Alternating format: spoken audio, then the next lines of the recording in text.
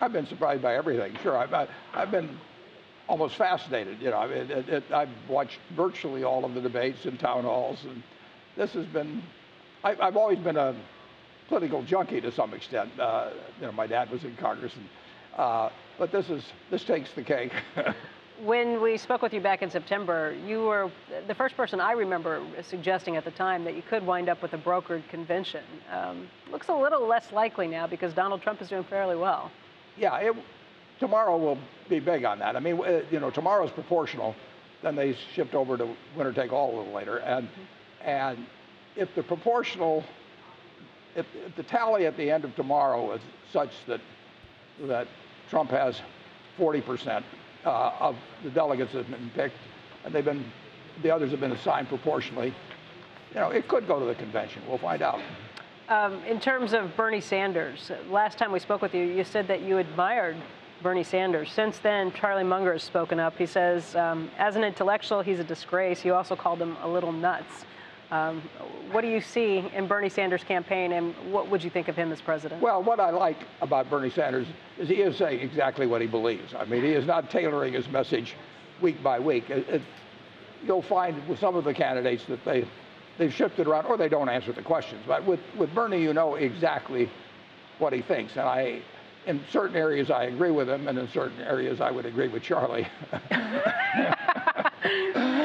what, what areas are you talking about? If, if, if he's, he's, Bernie is bothered by certain things I'm bothered by, and I would hope other people are. I mean, things like the influence of money in politics. I mean, Bernie, Bernie would per- certainly put Citizens United at close to the top of the list he would like to change. And he, he's bothered he's bothered by uh, the fact that in a country with 56,000 of GDP per, per, capita that so many people are poor and ma- many of whom are willing and able to work, but but just are not getting by that well in this country. And he would like to do something about that. But it's what he would like to do about it that where I think Charlie's probably closer than I. Charlie's closer in saying it's a little nuts. Why?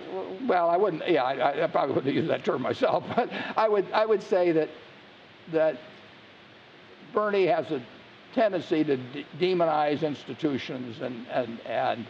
Uh, he, he thinks the solution would be simpler, and he would he would turn the system, I think, somewhat upside down. And there's parts of it that I might agree with him on. I think in terms of campaign finance, I think it should be turned upside down. But I don't think, I think we have a marvelous system uh, in terms of delivering more and more of what people want. I mean, we have a golden goose that's laid progressively more golden eggs ever since the country was started. It's, it's the most remarkable uh, economic achievement in, in the history of the world is what has happened in this country. So I, I do not believe in throwing out the, ba- the baby with the bathwater. In your letter this year, you really took aim at some of the politicians who have been going around saying that things aren't aren't going well in this country. Yeah. You, you, said that, that that things are strong here. Is that a shot at thinking we don't need to make America great again? Well, America America's never been greater. Uh, I mean, you, you can look at you know where we stand. I mean, it, it it will be greater in the future, but America's never been greater. I mean, this this is the best time to be alive in the history of the world. I mean, in terms of medicine, transportation, entertainment, you, you name it, or just in terms of aggregate wealth.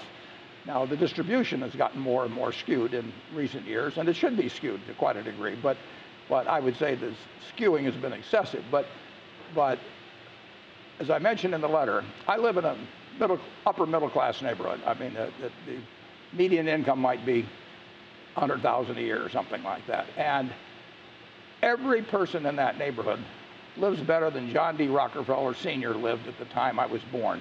In one man's lifetime, an upper middle class neighborhood has evolved to a, a way of life that's better than the richest man then in what was the best country in the world uh, in 1930 was able to achieve. He had power and prestige and, and all of that.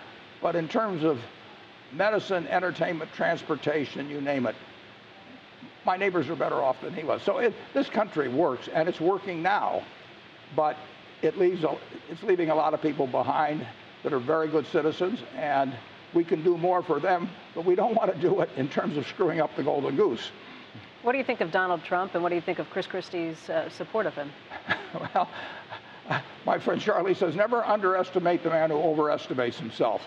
and that seems to apply in politics as well as in Wall Street and some other places. Uh, uh, I, uh, I've been amazed at what's happened, but uh, in, in, the Republican Party, uh, I wasn't amazed at all. I, I, what Christie did was very predictable. I mean, I, that was that did not surprise me at all.